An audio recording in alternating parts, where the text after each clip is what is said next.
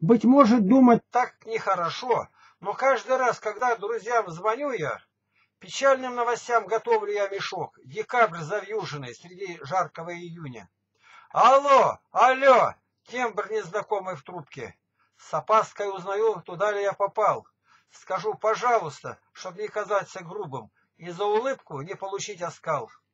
Опять который раз мне говорят, такой-то умер скоро и внезапно.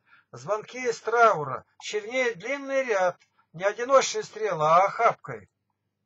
И обо мне когда-то так же скажут, быть может, охнет кто-то сгоряча, на телефоне крест поставит жирной сажей, никто не будет в трубку мне кричать. Сумели им память пробудить укорами, не колокольным звоном. Мой барабанный бой шел из груди, путь освещал по коридорам темным. Мой голос напугает ли собак и приголубит ли любезных голубков? Порядок сохранит ли точно так, хотя бы те, кто лично был знаком? Не скрою, хочется советы подавать. Три тысячи ответов в книгах заготовил. На ереси мой спущен газоват, и меж сверкающее божественное слово. Звоните чаще, подновляйте память.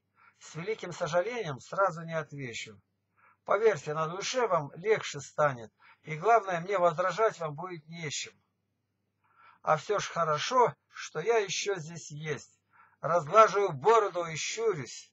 Двадцать четыре, тридцать восемь, сорок шесть. Мой статус среди живых пока еще де юре.